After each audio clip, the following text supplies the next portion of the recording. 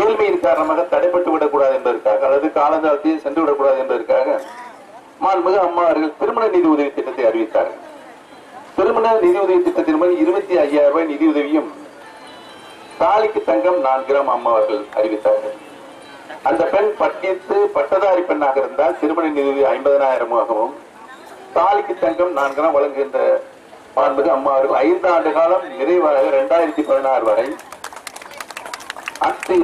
அனைத்துகளுக்கும் தாலிக்கு தங்கம் நான்கு கிராமும் இருபத்தி ஐயாயிரம் நிதியுதவியும் படித்த பெண்களுக்கு பட்டதாரி பெண்களுக்கு ஐம்பதனாயிரம் நிதியுதவியும் நிறைவாக வழங்கினார்கள். இரண்டாயிரத்தி பதினாறு தேர்தல் சட்டமன்ற தேர்தலின் போது மாண்புமிகு அம்மா அவர்கள் தாலிக்கு தங்கம் நான்கு கிராம் வழங்குகின்ற தங்கம் இனிமேல் எட்டு கிராமாக உயர்த்தி வழங்கப்படும் என்று மாண்புமிகு அம்மா அவர்கள் அறிவித்தார்கள். இன்னைக்கு நடைபெற்றுக் கொண்டிருக்கின்ற மாண்புமிகு அம்மாவுடைய அரசு அதை தலைமை நடத்தி கொண்டிருக்கின்ற அருமையன் திரு எடப்பாடி பழனிசாமி அவர்கள் முதலமைச்சர் இன்றைக்கு தாலிக்கு தங்கம் நான்கு கிராமை நாம் இன்றைக்கு உயர்த்தி எட்டு கிராமாக இன்றைக்கு வழங்கிக் கொண்டிருக்கிறோம் என்பதை இந்த நல்ல நேரத்தில் தெரிவித்துக் கொள்ள கடமைப்பட்டிருக்கிறேன். விலைக்கு அறுபது லட்சம் ஏழை எளிய மக்களுக்கு உறுதியாக இரண்டாயிரம் ரூபாய் வழங்கப்படும் என்பது இந்த நல்ல நேரத்தில் தெரிவித்துக் கொள்ள கடமைப்பட்டிருக்கிறேன். இப்போ பார்த்து பார்த்து நல்ல பல திட்டங்களை நாட்டு மக்களுக்கு மாண்புமிகு அம்மா அவர்கள் உயிரோடு இருந்த காலத்தில் எந்த மாதிரி பணிகள் எல்லாம் சேர்ந்தார்களோ எந்த மாதிரி திட்டங்கள்லாம் கொண்டு வந்து சேர்த்தார்களோ நாம் இன்றைக்கு அது நிறைவாக நாட்டு மக்களுக்கு செஞ்சிட்டு இருக்காங்க எந்த குறையும் இல்லை. யாரும் இன்னும் சொல்ல முடியாது. தமிழகம் இன்றைக்கு அமைதி பூங்கா மாநிலமாக இருக்கிறது. எந்த பக்கத்தில் ஜாதி சேர்ந்தவர்கள் இல்லை மதக்கலவர்கள் இல்லை. அனைத்து மக்களும் சிறுபான்மையின மக்களுக்கு பாதுகாப்பாளனாக இருக்கின்ற ஒரே மாநிலம் தமிழ்நாடு தான் என்ற நிலையை நாம் இன்றைக்கு உருவாக்கி தந்திருக்கிறோம். அதிலும் நம்முடைய இஸ்லாமிய பெருமக்களுடைய புனித ரமலான் நோன்பு காலத்தில் விலையில்லாத நோன்பு கஞ்சி வச்சிருக்கு நாலாயிரத்தி ஐநூறு மெட்ரிக் டன் அரிசி விலையில்லாத அரிசியாக அனைத்து பள்ளிவாசலுக்கும் வழங்கி கொண்டிருக்கிறோம். ஹஜ் பயணம் புனித பயணம் போறதுக்கு கிட்டத்தட்ட ஒரு மூவாயிரம் பேருந்து நாலாயிரம் பேர் நம்ம அனுப்பிச்சிக்கிறோம் கிறிஸ்தவ பெருமக்களுக்கு ஜெருசலம் போறதுக்கு மானியமாக அரசு நிதியுதவி அளிக்கிறது.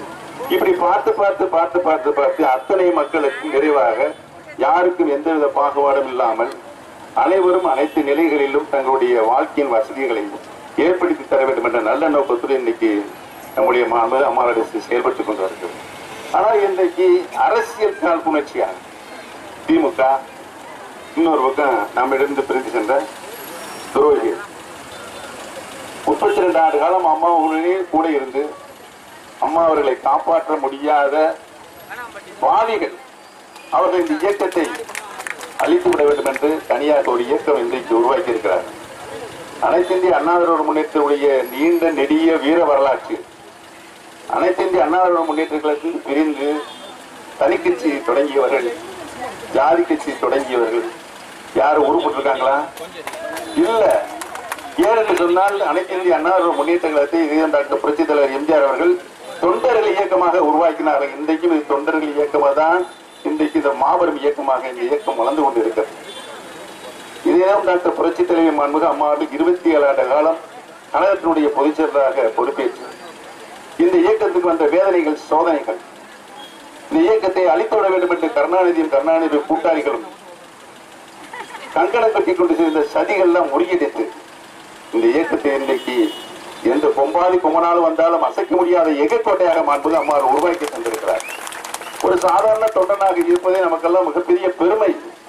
என்ற நிலையை மாண்புக அம்மா உருவாக்கி தந்திருக்கிறார். அனைத்து இந்திய அண்ணா திராவிட முன்னேற்ற கழகத்திற்கு ஒரு மிகப்பெரிய சிறப்பு இருக்கிறது.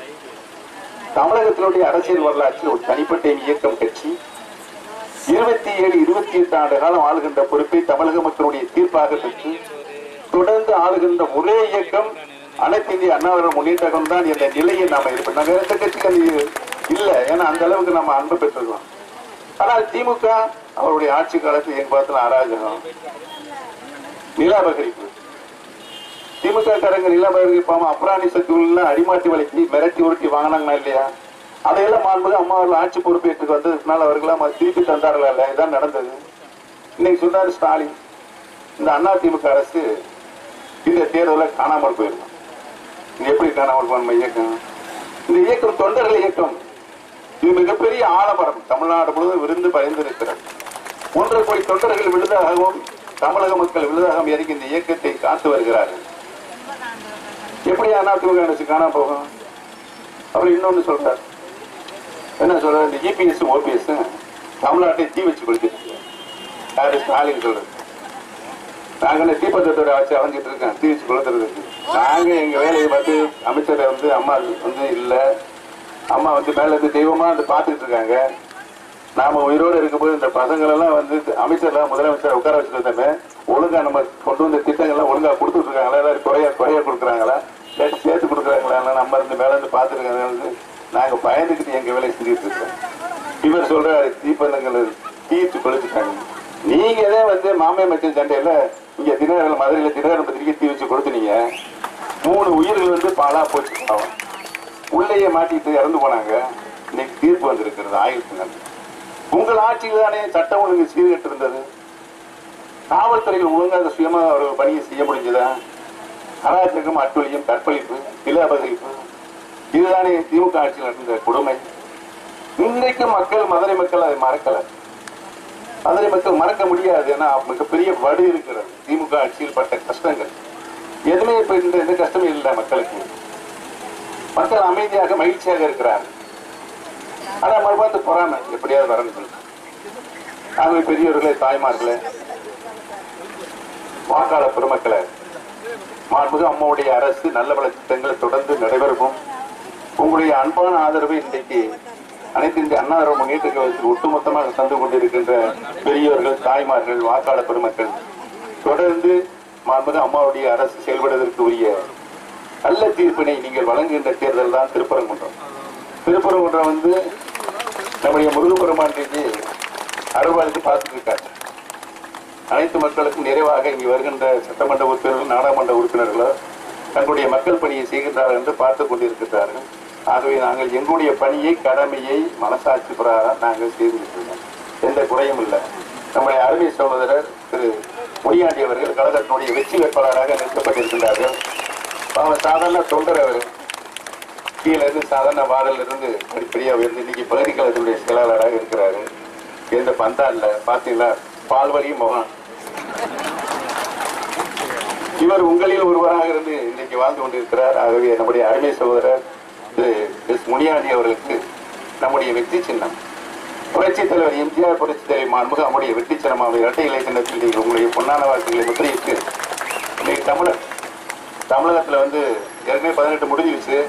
அதுல பதினெட்டுலயும் நாம வந்து உறுதியா வச்சு வரும் இந்த சந்தேகமே இல்லை.